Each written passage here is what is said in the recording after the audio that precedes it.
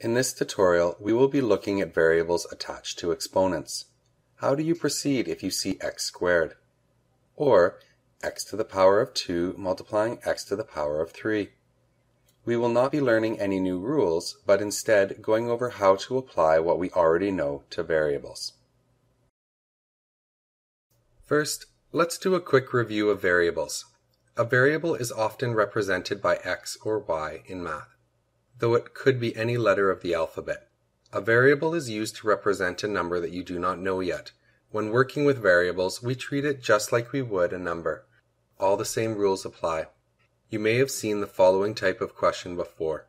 x plus 2 equals 3. Here you will solve for x. You will get x equals 1 because 1 plus 2 equals 3. Another type of problem is when you have an expression and you simplify but don't actually solve for the variable. Simplify the following. 3 multiplied by x plus 4 minus 2. We can multiply the 3 and the x and subtract the 2 from the 4 to get our simplified expression. 3x plus 2. For the moment, we will just be simplifying expressions with exponents. Exponents on single variables. Just like you might see 5 squared, you could see x or y squared. The difference is you can evaluate 5 squared. 5 squared equals 25. y squared, though, equals y squared. Because you don't know what number y represents, you cannot evaluate it. So y squared is as far as it can go. It cannot be simplified any further or evaluated as long as we don't know what the y represents. An exponent still represents the same idea on a variable. 3 to the power of 5 equals 3 multiplied by 3 multiplied by 3 multiplied by 3 multiplied by 3. y to the power of 5 equals y multiplied by y multiplied by y multiplied by y multiplied by y.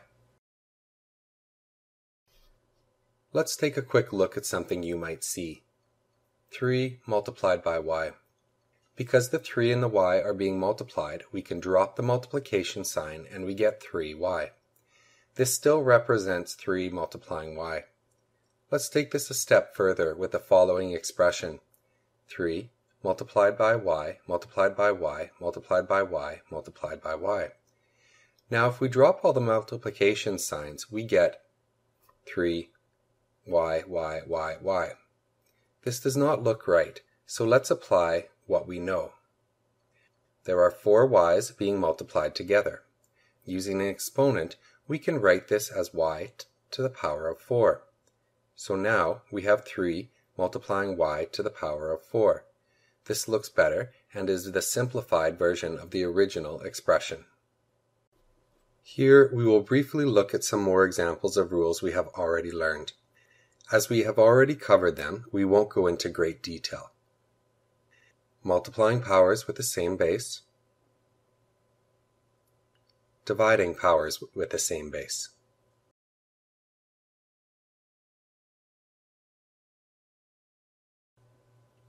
In this lesson, you learned that a variable can be used when working with exponents. That when a variable replaces the base, all of the same rules of exponents apply. This will be very useful going forwards as variables will often be used to learn new rules and concepts.